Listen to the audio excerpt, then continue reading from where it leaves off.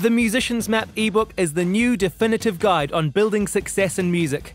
Whether you're just starting out, or you're looking for gigs, or you're trying to make a career, the Musician's Map ebook is right for you. The Musician's Map ebook contains 20 years of music industry experience distilled into a 40,000 word guide to achieving your goals in music. Can't read? Get the Musician's Map audiobook. Four and a half hours of author Kane Power speaking directly into your own ears. That's right, even you can still benefit from the Musician's Map Guide to Building Success in Music. Head to musiciansmap.org forward slash books right now to get your copy of the Musician's Map ebook or audiobook. Get it today and receive a special one time only offer of a personal pat on the back from author and podcast personality Kane Power. The Musician's Map ebook and audiobook is also available at Amazon and Audible if you feel like supporting those giant websites as well. The Musician's Map ebook, your guide to building success in music. Proof of purchase required for pat on the back. To receive a pat on the back, you must travel to Raglan, New Zealand. Travel not included in purchase price.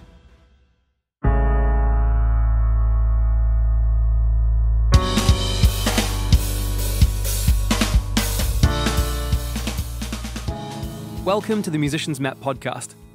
This week is the second installment of Our Worst Gigs, where previous guests of the podcast share their most painful, embarrassing, and hilarious gig stories for your entertainment. We have 10 artists, and I think maybe 12 stories. Maybe you've even got a few stories yourself. We have an incredible lineup for this episode, and some unbelievable stories from all levels of gigs. From busking on the street, right up to major international tours and record label showcases. Let's dive right in with my guest from podcast episode 18, Paul Martin. Paul is the bassist for alternative metal band Devilskin, the guitarist and vocalist in metal band World War IV, and the host of the long standing metal radio show, The Axe Attack. I'm, I'm trying to think where this happened. It might have been in might have been in Christchurch actually, but it was a pretty noisy, sweaty, awesome gig that uh, we just finished, and um, I think we just played the encore, and we're doing the thanks very much, see you later, and, and slapping a couple of hands at the front, thank you. And there's this girl she was right at the front and she was um she'd been a little bit obnoxious all night you know just an- annoying but there's a lot of people there and so they didn't really focus but oh god I, remember going up the front thing and she's grabbing my leg and i thought i'll keep away from this one anyway um, end of the night, and she's there, and she blooming um, goes to shake hands. So I, I give her my hand. She just about pulls me over, you know. I'm like, whoa, whoa, you know, just caught myself. Yeah, so to be careful there. And um, now it had a bit of a flu, and um, he was. We're all sweaty and just you know you don't want to hug people after the gig because yeah. you you're drenched, Drenched, and yeah. and they go you're amazing, and then they hug you and put their arms around you. and Go, oh, you're gross. Yeah, yeah. it's like don't touch me. it's like oh, you changed. And anyway, so this chick, this annoying chick, she sees now, and she's lunging from lunging, and he's talking to someone else over there and shaking someone else's hand. And she grabs his hand, she pulls him down, and she goes for the kiss, and he just turns his face away a bit like this, and so his face is sliding across her face. And it all happened quite quickly, but he left this massive trail of snot. right? And it was just hilarious because like she deserved it, Yeah. you know. But and he like he fell and like it could have it could have ended really badly. He's still wearing a guitar, but she'd pulled him over. He just caught himself, but his face had just slid along hers. And he obviously exhaled out his nose at the same time. Yeah. That will go with me forever. That was just the funniest moment. Amazing. Did he break his guitar? Nah, Nah. nah. Check out Paul's band Devilskin at devilskin.co.nz and facebook.com forward slash devilskinnz. Next up is my guest from episode 23, Tom Larkin. Tom is the drummer for New Zealand rock legends Shihad and runs Triple V Management and Home Surgery Recordings in Melbourne. fuck. That's something response. No, and I mean, it's not that I, you know, it's not that I, I, I I'm afraid of sharing it. I think some of the some of the kind of coolest things to talk about are the disaster gigs. There's two that really stand out as being the worst. One, we did a show in Norway, and uh, no, sorry, Sweden. And it was our first show, and we were opening for a, a band called Fu Manchu, and this would have been around 1997 Wicked. and this was our first show with Fu Manchu, right? So we come through New York, cross over to London, get a bus, go to Sweden, get there first first day of the show, wake up, get into the venue, do everything like that. Now, what's happened is that the whole time John's been like, "Oh man, we got to fly a guitar tech over. I need a guitar tech to do the show," and we're just like. Uh, we can't afford a guitar tech. It's an extra body on the bus. We can't do it. Like you've got to deal with it yourself. So we go through New York, and they've just released pedal tuners So yep. it's like, here you go, bro. Like, here's a pedal tuner. You tune your guitar on stage. Like, oh, cool. And we spend this money, buy this pedal tuner. We got it, and this is, and he worked it up on the first show. Anyway, the tour manager at the time had this guy who he kind of put on the tour as a as a crew guy, and this guy was all right, but he was like, you know, he wasn't a musician, he wasn't anything, and we're about to go on stage, and Phil is side of stage, he's looking furious, and I'm going, what's up, man? He goes, John hasn't got his pedal tuner plugged in. I'm like, what the fuck? Go up to John and go, hey, John, you haven't got your pedal plugged in? And he's like, yeah, man, uh, Yuri is going to do it. And Yuri's this crew guy. And I'm like, but he's not a guitar tech. He goes, yeah, he said he'd do it. And I go around the corner, like, no shit, right? And Yuri has got John's guitar on a stand. If you know, I mean, are you a guitarist? No, no, but I know guitars, yeah. Okay, so you recognize that, you know, metal stretches and you got to stretch the strings out and temperature affects it and you've got to keep the guitar warm at stage level so that when you hand it over to the artist, they've got to have it so that it stabilizes for stage. There's an art form. Yeah. It's, it's, you know, it's a dark art to be able to keep guitars in tune for artists properly. And there's a lot of, you know, touch and sensitivity to it. Yuri has his guitar on a stand and he's got a fucking like a, an acoustic guitar tuner. He's plucking each string and just tweezing oh. the, the note, right? So, and we're just like, this is like two minutes before stage, and we just suddenly realized we're walking out there, and all of John's guitars are being tuned by an absolute liability. And we're just like, John, what the fuck? And he's like, it's going to be fine. Shut the fuck up. What's your fucking problem? you know? So we go out there, we play the first song. It's a fuck, it's completely out of key because John shit's out of key. And then uh, John throws off his guitar and does it by himself. Then he picks up another guitar. It's fucked. Carl is so furious he smashes his pickup into his bass.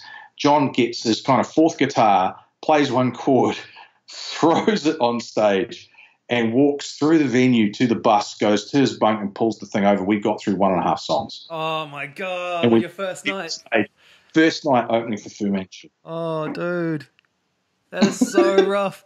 It's on such a bigger scale as well. But we didn't. John was so so shamed, and there was so much like fucking anger. It yeah. was like, like he didn't he didn't make his presence known until soundcheck the next day. He hid in his bunk oh, until soundcheck.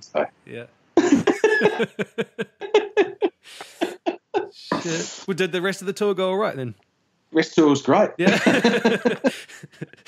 um, yeah, and then there's the more famous one about how we lost four million dollars in one show. So that was all right. Oh, go on. Um, well, this is the, this is the one. There's the it's in the film, but basically we had the Viper Room show, and geez, again, it's about guitars and tuning.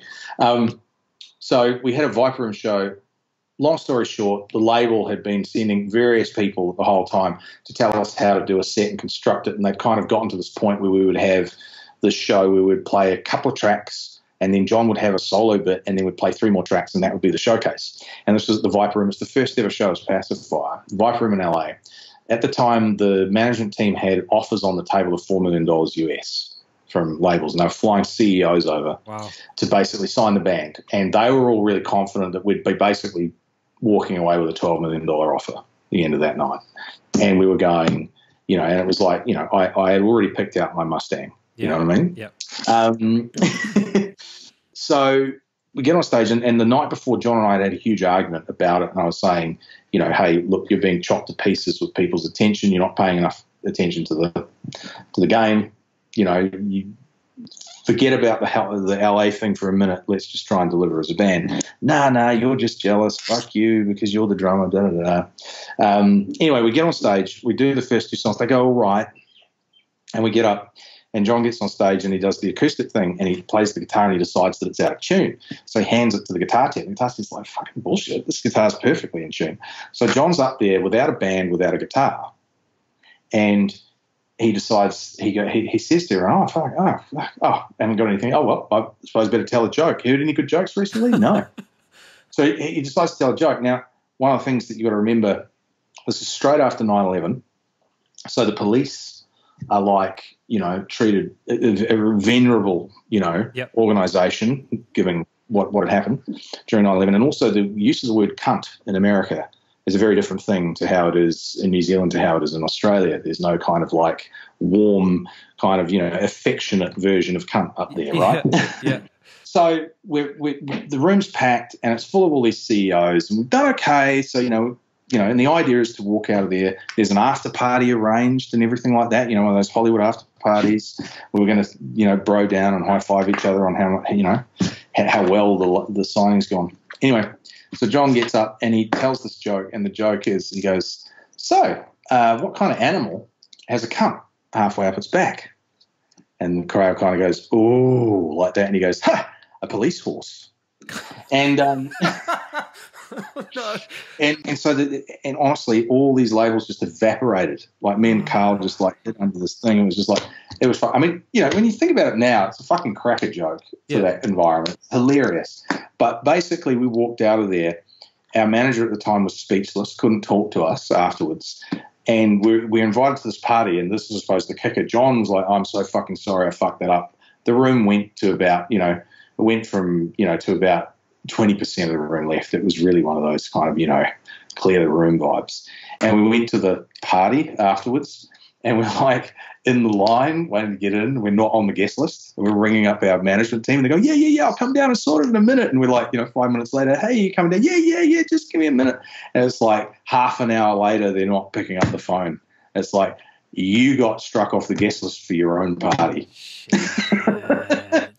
Oh my God. Check out Shihad at shihad.com and facebook.com forward slash Shihad. You can also check out Triple V Management at facebook.com forward slash VVVMGMT and VVVMGMT.com. While you're there, you might as well check out Home Surgery Recordings at facebook.com forward slash home surgery recordings and homesurgeryrecordings.com. Next is Teresa Bergman from episode 28. Teresa is a singer and guitarist based in Berlin. Um, yeah, so two terrible gigs spring to mind. Mm-hmm. Um, one is actually a busking story. I don't know if that counts as a gig. It's a gig. Yeah. Yeah. Yeah. So um, one time when I was busking, I have, I used to have this really beautiful um, old leather um, photo bag, like one of the bags that they used to put old cameras in. Yep. yep. And that was my money box that yep. I'd put out the front with signage and everything and my CDs in it. Um, yeah, and it was this beautiful raw leather. And this uh, homeless guy just comes up and sort of looks at me for a little bit with his dog. And then his dog just sort of slowly walks, I'm like singing, slowly walks towards the box, lifts its leg, no. and just pees right in my oh, leather money box. On, money. on the leather, you yeah. know? And I'm just like, you know, speechless, you know, stop singing like, Ugh um, can you stop your dog? And the guy just starts laughing. so I had to get the box cleaned and oh, pick up the urination money. oh no! What do you do with peed on money? Just wash it. Just wash it. Yeah. Yeah. Oh, I was going to throw it away. so. I mean, it is kind of funny uh, from his perspective, but also. But really, like, yeah yeah, kind of borderline behavior. So that was one gig that I mean, you almost had to laugh, but yeah. yeah. And the other one would probably be was with I was playing with a trio and we were on tour and this was the last gig of the tour and we were super tight and um, amped for the last show and it was a really nice venue, this old sort of um, farmhouse type venue, mm. like beautiful acoustics, great sound, you know, good two, three hundred people could fit in that venue. We'd done a lot of promotion. We did all this newspaper coverage, and sort of felt like we'd done everything right going into the gig. Yeah. And we'd played there the year before and had like half full, and so we thought, you know, the next time you get more. Hopefully, mm, is yeah. the idea. Yeah, and then um, shortly before the show, it was really it was really rainy that that night, like really stormy. That was probably one factor against us. But um, I was sort of warming up my voice backstage, and um, and my manager came in with this big big whopper glass of whiskey and was like, "Hey, do you want a drink?" And I was like, "Oh God." How bad is it? and, uh, and, he, and, he, was like, uh, high five. and there were five people there. Oh, no. And, you know, sometimes that shit happens, right? And so yep. you're like, okay, I have a bit of a golden rule. As long as there's more people in the audience than on the stage, you got to rock that shit. yeah. Yeah. So we went out there, you know, still determined, mm. disappointed, but determined. Yep and then we had this keyboard, this really old keyboard in the set, and our bass player was doing a bit of multitasking. He was playing bass and keys, keys at the same time, and it had one of those little, um, those little, what are they called, like dials that that um, change the tone of the keyboard. Okay, yeah. I don't Like know. a, like a transpose. yeah, thing? like a transpose um, circular dial that you can hit to and fro. yeah, yeah. And we didn't realize that someone had hit it and like built like when we were setting up the keyboard. Oh, it's So- not, not one of the ones that springs back. So it goes. Nah. Yeah. And um, so it was like quarter of a tone or half a tone out, and Mm. we started the first song with the keyboard. so that came in, and then we came in with the bass and the guitar, right? And we were just Oh, no. cr- like cringingly out of tune with. it. We're thinking, oh god! And so we're trying to tune our, uh, you know, instruments, presuming the keyboard's right. Yeah. Yeah. Um, that starts failing. As I start try- madly trying to tune the guitar, I break not one but two strings. And then in the kerfuffle, sort of looking at all this, our drummer threw his drumstick at the audience. and this all sort of happened like this weird domino effect. In the first song. Yeah. Oh, brilliant. It was just, and then at that point, I just cracked up laughing, just stopped playing and was like, this is ridiculous. Yeah. And uh, sat down on the, went and got my strings, sat down on the stage, um, took the mic away and just said, hey guys, I'm Teresa. Do you want to go around and we'll just introduce ourselves? We may as well get to know each other. um, they were great. And we had a great night together. Then all five of them stayed till the end. Yeah. Okay, Um, that's good. we sort Audience of retention. Yeah, yeah, and it was actually hilarious because like a week later, um, we were at sort of a bit of a snazzy networking do, my manager and I, and we um, we were sort of standing there, and there was a whole group of bookers who book for people who are quite big.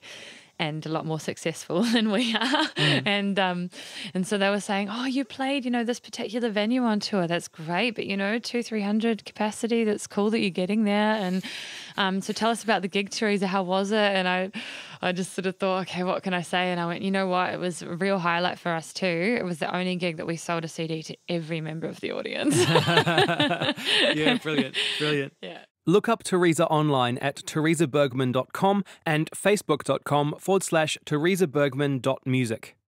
Next up is Eric Jernigan from episode 19. Eric is the guitarist and vocalist for Philadelphia post metal band Rosetta. Yeah, so uh, the first time City of Ships toured in Europe uh, was 2009, and uh, we went through uh, the border crossing from France into the UK, and uh, this guy, the immigration agent, just saw us as a band from a mile away, and uh, it was definitely a, a DIY kind of tour. We forewent the the proper work visas we were required to have to play in the UK. Yeah. And uh, the, the, the, the guy did everything short of call us out um, for, for entering illegally. And so we were headed for a, a city called Stoke on Trent. And uh, I guess it's in the middle of England. I'm not even sure. Yeah, yeah. And so after this harrowing day where we barely got into the country, this guy uh, was on the tour with us was driving the van uh, without a license. We found out, and uh, he backed the van into an Audi at a gas station about Oh, no. 20 minutes from the venue. So yeah, the cops came and the whole thing, and and we realized we were there without uh, without work visas, and yeah, I don't know. We we definitely thought for a second. I think we're all going home. You know, we're going to be arrested and, and taken away. We're here in the country illegally on, you know, false premise and all that kind of stuff. Yeah. So yeah, we got to the gig um, and found it was this very uh, cold, sort of cavernous upstairs venue uh, with a very harrowing load in, you know, slippery stairs and all this kind of shit. Yeah. And what what should we see but like a horde of teenagers waiting to come inside the venue? And and I, I just I looked at them and I thought these people are too young or, or too I don't know, modern looking, if you will, to possibly be here for our show. But there was clearly nothing else happening in this building that we could tell. Yeah. And so we thought, yeah, there's going to be like a couple hundred people at our first ever show in the UK. This is great. So we got all set up, and uh, the voltage converter failed as we as we did a sound check, and so uh, one of my pedals just literally burned up right on the spot. Then uh, all was fixed, and we got got ready to go, and uh, you know we're standing around having a beer, waiting for people to come upstairs. And all of a sudden, we heard this just bumping music coming from downstairs, like some kind of modern pop music, and realized, like, oh, that's like a, a high school graduation party, you know. And so, yeah, at the end of the end of the day, I think there were about five paying people for our, our first show Oh uh, in the UK, and the smoking pedal, and then we had to load out uh, through a horde of shit-faced drunk teenagers Oh, and man. and someone puked in, in the path as we carried out the gear Yeah. so that was our welcome to england Check out Rosetta at rosettaband.com and facebook.com forward slash rosettaband.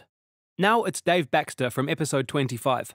Dave is a singer and guitarist who writes and performs under the name Avalanche City. It's just when kind of everything was kind of blowing up and uh, it was um, kind of gone into over to Australia and we were starting to like work the Australian radio stations and TV stations and things like that. And my label Warner had um, had organized this like showcase gig. So they, what they, what they do is they organize a showcase gig and, and all of the industry people kind of come and, and you play your set and you try and be cool to these industry people Yeah. who who've who've been to a thousand other showcase gigs that week. Yeah. And um that was on like a I don't know, it was like a Tuesday or something like that. And and I'd flown over that that same morning and um and so I was absolutely shattered. But um one guy, one crucial Australian news or like TV station bigwig couldn't make the showcase gig, and um, they were gutted about it. They Warner were absolutely gutted that this guy couldn't come because he was such a big player, mm. and they were like, "All right, this guy can't make it for the gig, but he can make it at 10 a.m. So we're gonna get you off the plane straight to the bar at 10 a.m. and you're gonna play your set just to him." just to him. He's going to be. so we got off the off the off the plane. We'd got a, I gotten up at like four thirty in the morning or something like that. I was absolutely shattered. And we drove to the um, to this bar, and we set up, and we do a little sound check, and then this dude in a suit like rolls in and he sits down in this chair in the center of the of the bar with no one else in the room, and we're just on stage, and I was like this is my life now. Yeah, yeah. and so we just like we just played and I like tried to like pretend that he wasn't there and I tried to like have a good time and like and there were just times where I was just laughing. Like there's only there's the only the only thing that you can do in that scenario is just laugh because like Oh, it's man. just so ridiculous. And then one at the end of the at the end of the gig, one of the, one of the people like like either bar staff or Warner staff or something came up and they're like, "Did you see he tapped his foot at the end of that? Did you see he, in the middle of that song he tapped his he was tapping his foot? That means he likes it." I was like, "Wow." Yeah. it's just another world. Um, so that was that was one of the worst gigs. Oh, it wasn't one of the worst. It's one of the up there, and um, and then uh, the other gig was um, it could have been the worst moment of my life. We were playing a gig in Manila Yeah. in the Philippines, and um, it was at a festival. And we'd kind of got there um, a couple of days early, and the, the people who organised the festival had these, like each band had someone in charge of them, and, and they kind of like didn't let us leave the hotel unless we were under under bodyguard and, and like all that kind of stuff. They were really like super paranoid, and we wanted to go explore the culture and like see some markets and things like that, and they, they wouldn't let us because they didn't want us getting food poisoning or anything like Yeah, that, or like yeah. uh, stuff like that just before the gig, and so we had to eat at all these like Western places, which we were like, ah, we're in Manila, and we should be like eating whatever the Manila Manilarians eat. Yeah, yeah. Don't know what you to call them, but um, the show day came around, and and we were band before us was playing, and then half an hour before, I think it was actually maybe like 20 minutes before we were due on stage, I just like felt my belly start like rumbling and turning and stuff, and I was like, oh, that doesn't feel good. And then it like just started going nuts. And then 10 minutes before we were due on stage, I was like, oh, I like ran to the portaloo and just like, like, this is a really bad story to tell, but I absolutely Yeah, bombed no, the crap good, out of good. this, this like toilet. and then I just had to go on stage straight after that, like with my belly just like, like going ballistic. I was just like, this could be, this could be the moment where I like crap myself on stage. Oh, shit. and you can't you can't stop like so like because they're flying you over there for for the show you know so Yeah. you can't you can't you can't pull out you can't be like hey i'm not feeling very good so i went on stage green as anything i must have like looked as white as a ghost and started playing. Once I started playing, it kind of went away. And then halfway, I was, I was like, oh, I think I've got away with this. And then halfway through the set, my belly starts doing that thing again, and I could feel it. I was just like, oh, no. it started churning, and um, and I like powered on through it. it nothing, nothing happened. I was if I was off the stage, I would have ran to the loo and just like bombed it. But yeah. I, I couldn't do that because I was in the middle of a song. So I was just like, well, it's either going to happen or it's not. I was just got to keep playing. and, and uh, thank God nothing happened. But it could have been like the worst gig ever. But uh, yeah. That's amazing. That is amazing. It's that uh, looking off and I can just imagine you looking off into space, like wondering, is, yeah, is, this, yeah. is, this, the time where I shit myself in front of thousands? of Yeah, yeah, yeah. It's the it's the it's the fear. Right? It's, there's the absolute fear, and it's not not really under your control. So you're, you're at the mercy of your bowels. Check out Avalanche City at avalanchecity.com and facebook.com forward slash avalanche city. Next up is my guest from episode 26, Albert Ross. Albert is a multi talented musician from Yorkshire who is based in New Zealand. Shit, I'm not sure if I should talk about this because the band still don't know it was me. I don't think they'll hear it. They're all in the UK, but uh, so like just just prior to moving into New Zealand, I was playing with a, a very well known band in the UK called the Pigeon Detectives.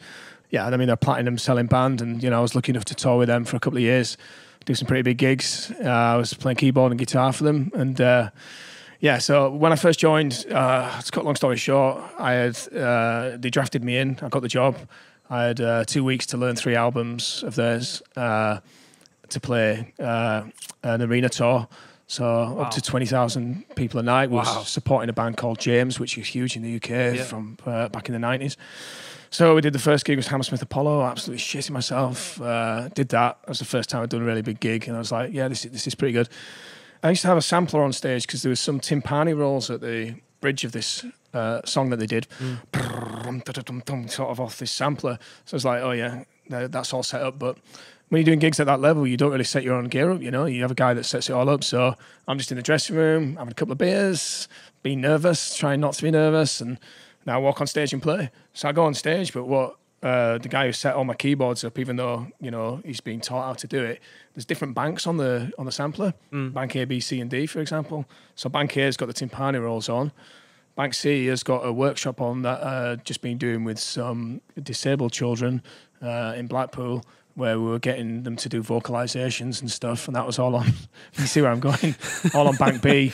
That I should have Yeah. probably deleted from like six months ago, but I didn't. Yeah. Yeah, this was at Brixton Academy, one of the venues that I dreamed of playing when I was a kid. So Yeah. it's a big deal for me and sold out gig and uh, got to the bit where the song drops down all quiet and uh, in come the timpani rolls and is like it's like it's like the loudest sound you've ever heard. It's like like five thousand people like what? And all the band like what? And I was just like just carried on playing keyboards and like oh man, I was sweating. I was like I was trembling after that. I was like at the time I didn't really know what it was. And Yeah. As I was finishing the song, I was working out in my head. Oh shit! That, that oh my god! I can't believe that's what it was. Anyway, I got in the dressing room afterwards, and the band were all like, "What the hell was that in that song?" But not to me, just to each other. And I was Yeah, like, to know. No one seems to know where it came from. And then the bass player goes, "Ah," he says to the singer because the singer in the band, uh, check him out on YouTube, they're amazing. He swings the mic around a lot, and he, he destroys a few mics during most gigs. And so there's always spare mics at the front, just taped down for him to pick up. Yep. And the sound man is supposed to leave them switched off, obviously, but. They, they went, oh, the sound man must have left with their mics on. and Someone on the front rows grabbed it and gone. So I was like, oh, yeah. So I- Yeah, that was it. they, they, they don't know about that. So they hopefully do won't- now. Yeah, Yeah. they won't be listening to this hopefully. But uh, the young lad who uh, whose family we know well still, uh, a young lad called Ollie who was doing the workshop, who was doing the vocalizations and stuff with. We got to tell him and his family that he'd just been on at Brixton Academy, and they were stoked. Yeah. so, so she just played Brixton Academy, sort of. For more of Albert and his music, check out equalvoicesarts.com forward slash productions and facebook.com forward slash Albert Ross official. Next up, it's Sarah Court. Sarah was my guest on episode 27. She's a classical singer and a doctor of musical arts. This is quite brave, me telling you this story, because it's a big employer and it's empl- an employer I would love to work for. I would love to work for again. You don't have to say the name of, of the employer if you want. It'll be really obvious. Um, but it's my biggest gig. It was my biggest money gig. And it was the worst gig of my life. So I sang at the world premiere of the Lord of the Rings Symphony. Wow. And it was a big gig. Yeah. And it was a very big deal.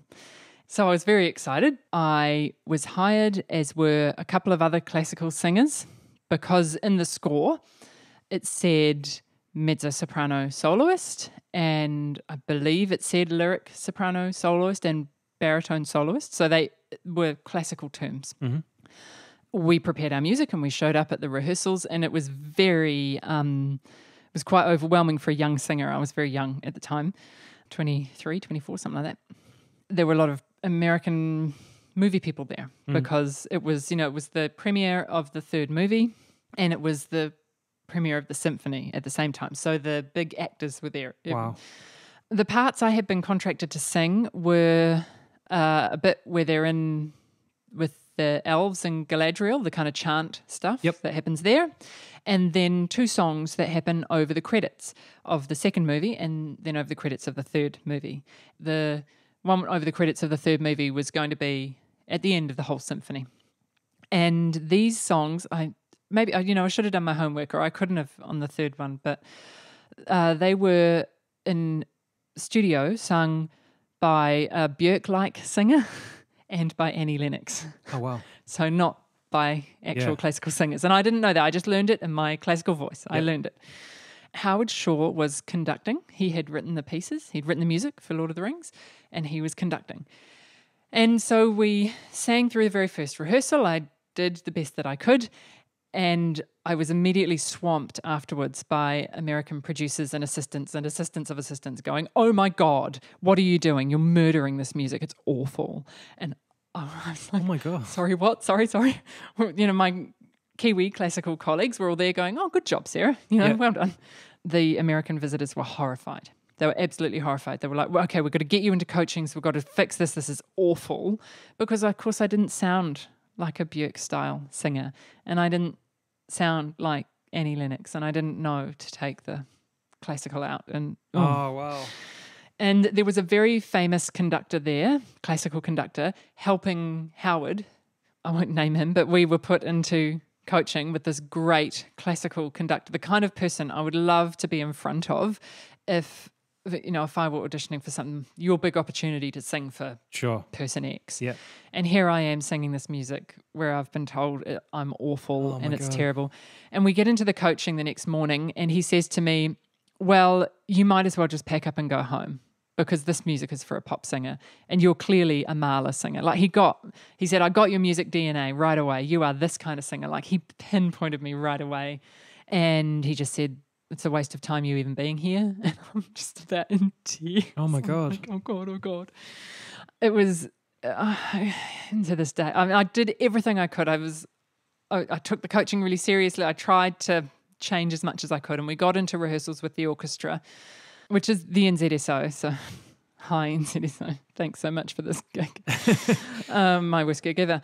They were lovely, actually. The orchestra were really nice about it. They were so nice to me. The players were amazing. So many of them came up and said, You're doing great. Don't worry. Because I was clearly terrified. Yeah.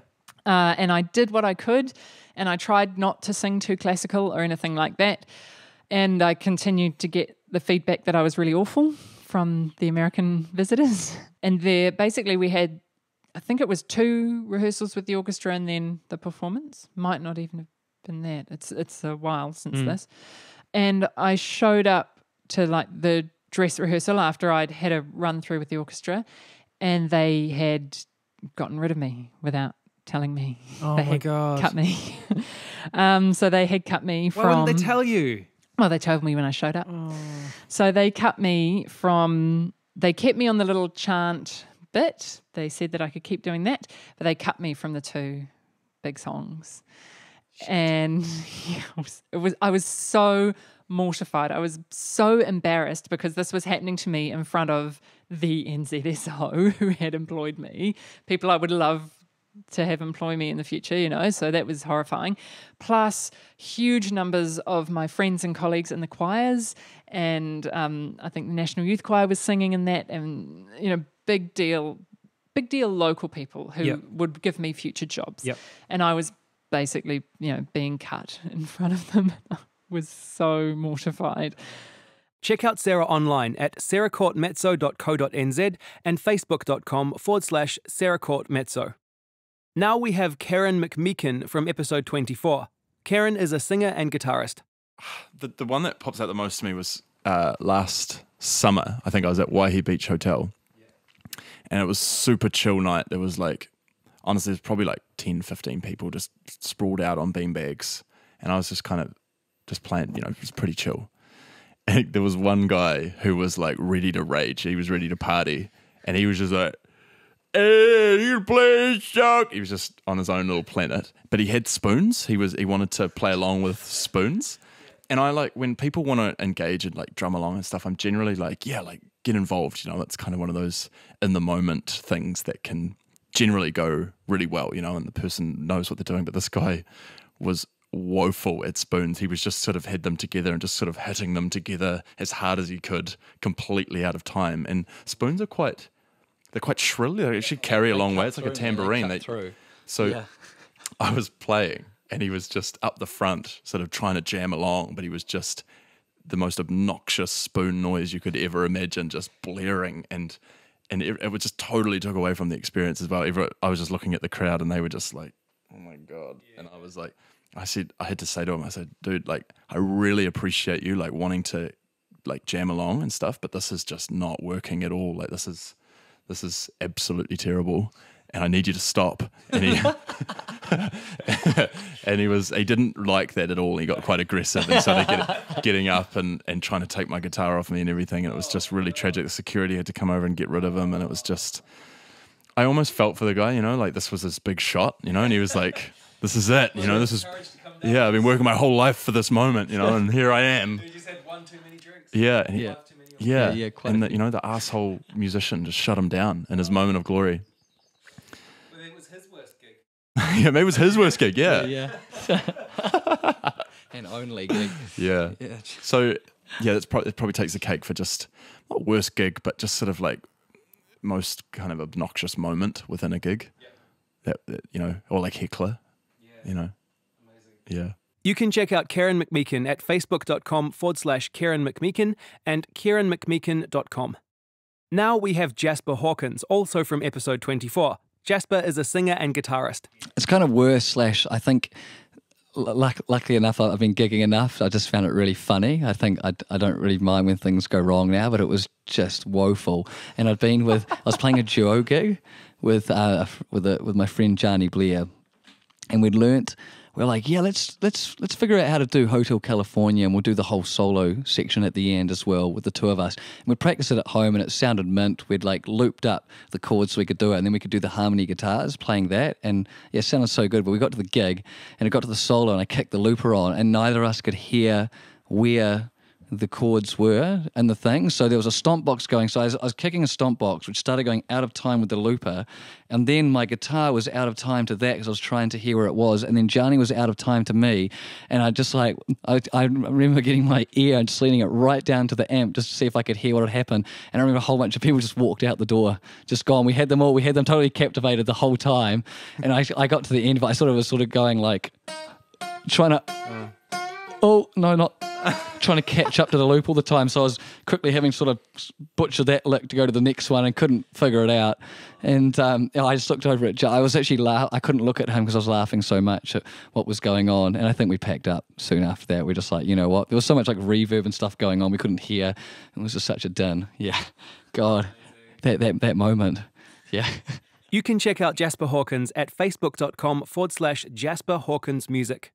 And last but not least, we have my guest from episode 21, Zorran Mendonsa. Zorran is a music producer, sound engineer, and guitarist. Um, so, like, I was in that band New Way Home, and we were opening for Devin Townsend, who is one of my all all time favorite artists, and you know, one in my top two, probably my favorite singer. Um, so, you know, it was it was a very special occasion, and there was one uh, there's one song in the set where it just drops out to just me. on the guitar, just like a little guitar break, right? So you can kind of see where this is heading. Um, and it was it's usually it was usually like the drummers the drummer kind of like just keeps count on the hi hats while I play it, And you know, I know it's not very professional to do that, but that's just how we did it, and it didn't sound all that bad. But on that day, the drummer stopped doing the hi hat thing, didn't and, and stopped counting. So I was like, I just it just kind of took me off by surprise, and I just kind of stopped playing. I just kind of froze and I stopped playing, and I was like, "Oh shit!" Like I've com-, and it was like this weird odd time thing, and whatever. So there was like this just two seconds of silence. So I was just like looking at the band and like I think you know everyone like it was a it was a packed um, venue and stuff like that. But you know it was thankfully right before a breakdown. So I think a lot of people just thought it was like just a long pause just before the the thing hit, and then thankfully, yeah. thankfully the other guys kind of came back in on time, and then you know I just joined in very quickly. But that.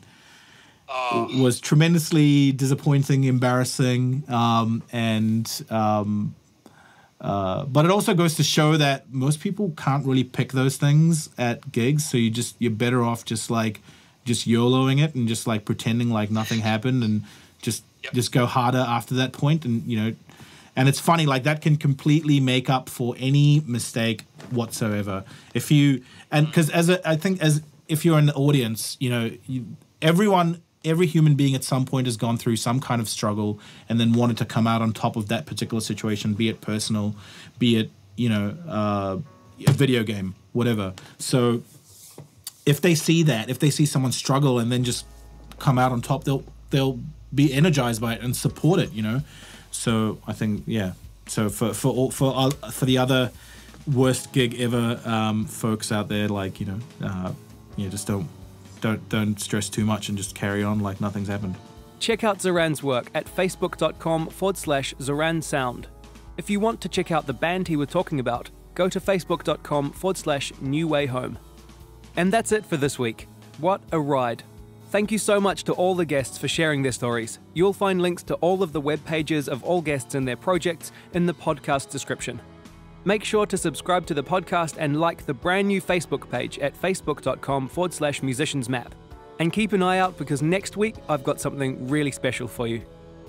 This podcast and the website musiciansmap.org is dedicated to sharing knowledge and advice about music and the music industry. It's all about community, honesty, and positive progress the experiences, stories, and advice shared on the podcast are given freely with the hope that you can relate to them and benefit from them. If you have found this podcast enjoyable or useful, make sure to check out the Musician's Map ebook and audiobook about building success in music.